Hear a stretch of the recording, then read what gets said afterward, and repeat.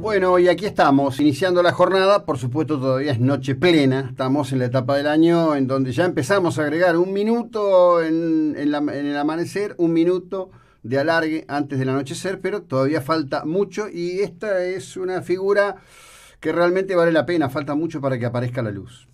El gobierno nacional, la autoridad de la Ciudad Autónoma de Buenos Aires y el gobierno de la provincia de Buenos Aires marchan a fuerza express en la búsqueda de volver a lo que llaman fase 1, aunque en estos juegos, este, donde parece ser que las palabras y las imágenes son más importantes que los hechos, dirían que no van a hablar de fase 1, sino de una fase prolongada con restricciones a, este, digamos, la traslación en, los medios de, de, transporte. ¿Qué es lo que están diciendo? Bueno, que hay un abuso de la utilización en el sistema de las opciones de permiso por cuestiones de carácter familiar. Por ejemplo, digamos, gente que vive en el Gran Buenos Aires, que este, entra en el sistema, pide el permiso de, circulación y ese permiso de circulación está fundado en que va a ir a ver este, o que tiene que asistir a un ser querido, etcétera, etcétera, etcétera.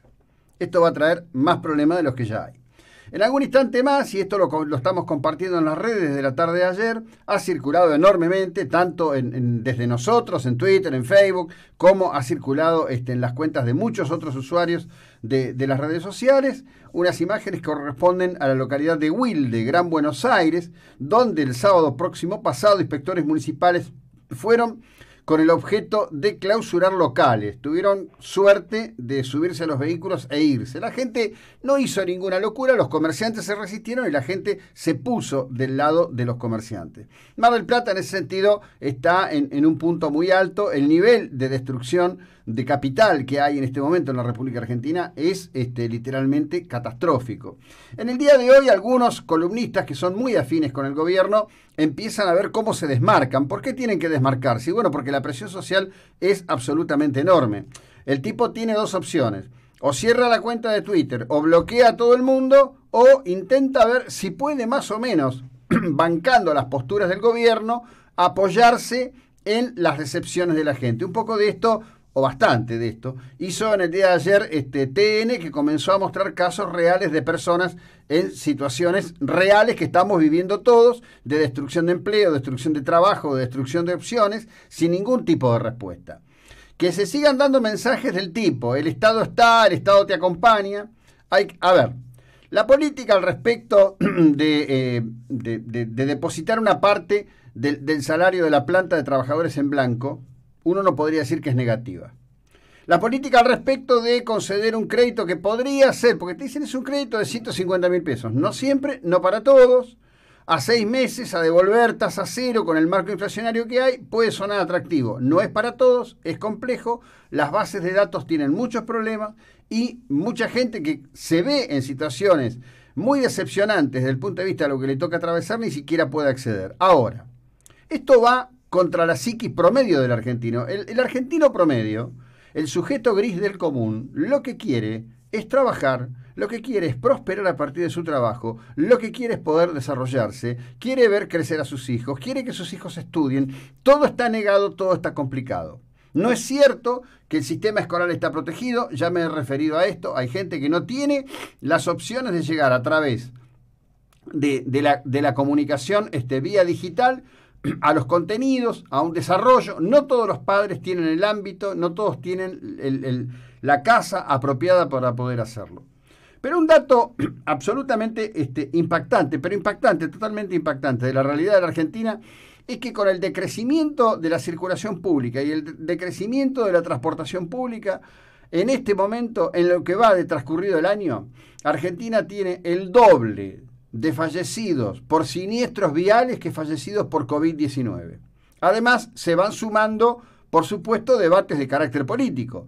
No se ha terminado de hacer una presentación penal por parte de legisladores de Juntos por el Cambio en referencia a situaciones manifiestamente irregulares vividas en la Cámara Baja, que en el día de ayer otra situación escandalosa este, llevó adelante, protagonizada en directo por Cristina Elizabeth Fernández, viuda de Kirchner, quien directamente este, llevó la aprobación de una comisión investigadora al respecto del tema Vicentín, un tema que es obvio hoy, es su tour de force y los tiene completamente obsesionados.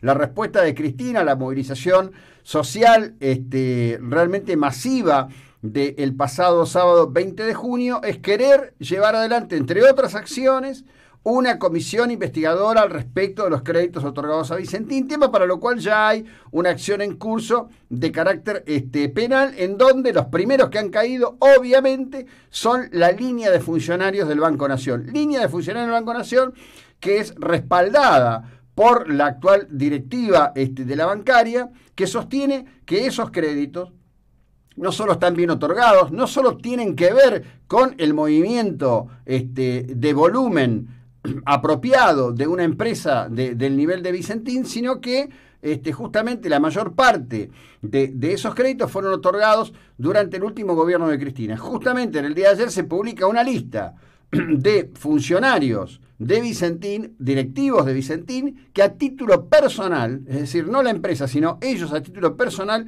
aportaron para la campaña del año 2007 de Cristina Elizabeth Fernández, donde su coequiper, vicepresidente de la Nación, era Julio Cobos. Recuerdan, el hombre de mi voto es no positivo, ¿no? Ese hombre extraño, atravesado por el miedo, que luego hizo un viaje en auto hacia Mendoza buscando una suerte de respuesta épica del pueblo que obviamente nunca encontró. Hay un, viejo dicho que dice Roma no paga traidores. Cobos había llegado con Cristina, en la lista de Cristina, en un acuerdo de un sector del radicalismo con Néstor Kirchner, este, digamos, hizo caer la 125 y buscó eludir siempre sus responsabilidades. Hoy cosas extrañas de la vida, disfruta de una banca este, del Senado por la provincia de Mendoza. Provincia de Mendoza que sigue trayendo al escenario nacional dirigentes interesantísimos, muy inteligentes y algunos de una torpeza increíble, como el actual este, presidente del Comité Nacional de la Unión Cívica Radical, el diputado nacional este, Cornejo.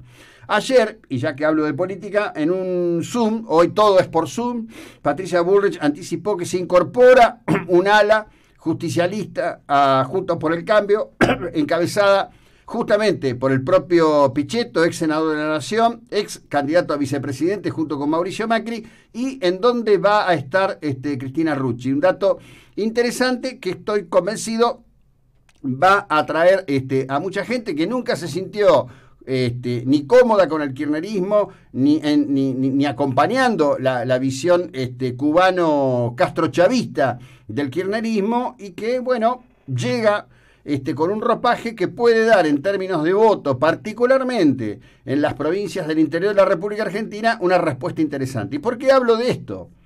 Muchos se preguntan y dicen, bueno, pero ¿y cuándo empezó este problema de los argentinos? Y entonces se toman números en abstracto. Dicen, bueno, hasta tal año Argentina tenía estos resultados, hasta tal año Argentina era uno de los países más importantes del mundo, hasta tal año Argentina era superior a, por ejemplo, Canadá, era superior a Australia. ¿Cuándo empezó el problema?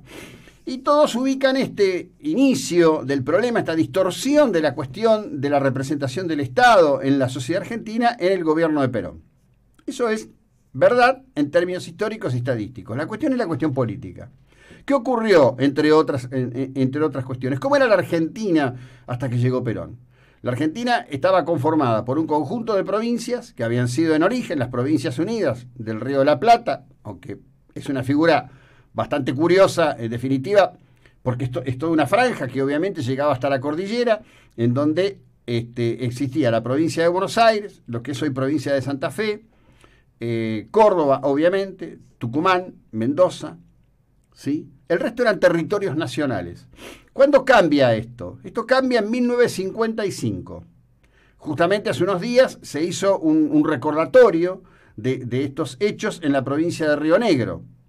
En 1955 se decide la creación de un conjunto de nuevas provincias argentinas, en particular las patagónicas y en particular también, por ejemplo, dentro de ese paquete la provincia de Formosa.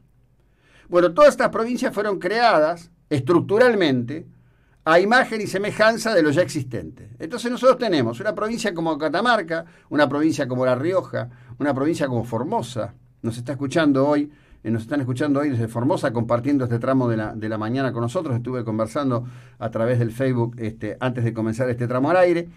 Provincias que tienen Corte Suprema de Justicia, que tienen, este, por supuesto, no es el caso de Formosa en este momento, pero este, legislaturas bicamerales, estructuras que realmente este, son demasiado densas, demasiado pesadas, porque además, si alguien tiene, si alguien tiene, todos tienen, una, una, una cámara, es decir, una corte, si tiene una corte, esos funcionarios de esa corte, de esa provincia, van a cobrar salarios equivalentes a lo que cobra quien está, por ejemplo, en la corte de la provincia de Buenos Aires o en la corte de la provincia de Córdoba. Hay que empezar a mirar todo esto. El gasto ocioso improductivo lo pagan primero los que viven en ese lugar. Hablando de Formosa, la base de la actividad económica es el Estado.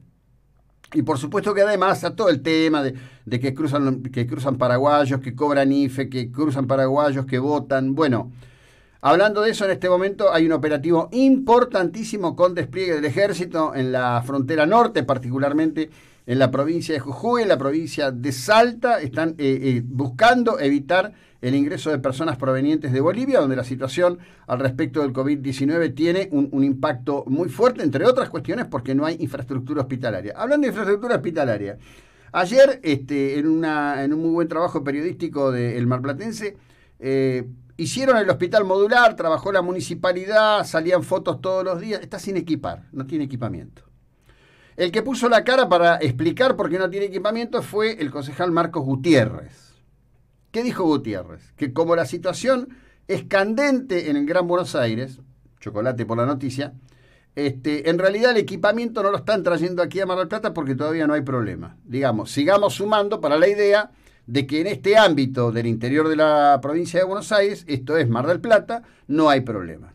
Ayer se desató otro debate, un planteo al respecto de que la provincia buscaría ocupar camas este, para aquellos que tienen situaciones de COVID leve que no requieren internación hospitalaria.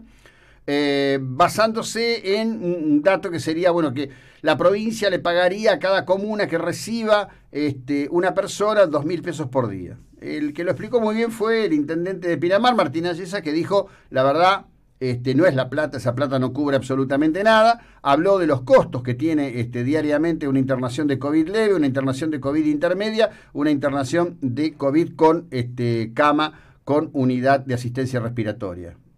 Unos números muy impactantes. Pero por otro lado, estalló el tema de a quién se le da hiperplasma. Ustedes vieron la maravillosa, extraordinaria eh, recuperación este, de bueno, del intendente esposo de Jelinek, ahí yo, creo que hay, todo un tema con eso. Ayer se instaló la cuestión de la capacidad que genera de cura de COVID-19 el llamado hiperplasma, que es el plasma que se obtiene de personas que efectivamente tuvieron COVID-19, se han recuperado y van y donan.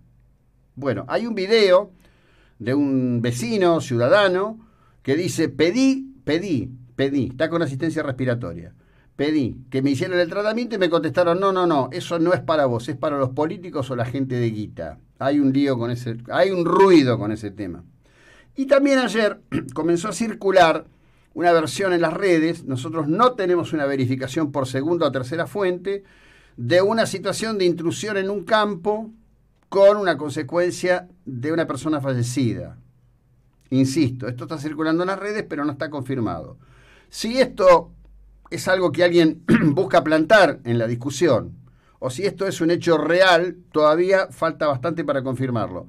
Pero si las autoridades no actúan para parar la ola de violencia contra los productores, esto va a terminar siendo real y concreto.